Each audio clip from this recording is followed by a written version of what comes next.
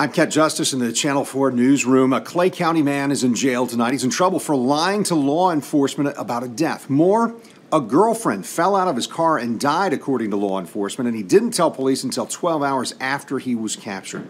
The 26 year old from Middleburg's arrest report accuses him of leaving the woman for dead in St. Johns County back in January.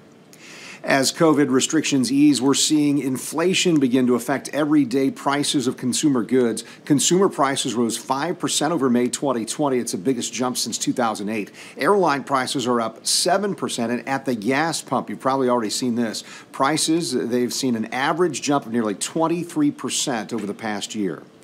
Saturday morning at 10, supporters of the LGBTQ plus community plan to march across the Acosta Bridge in Jacksonville.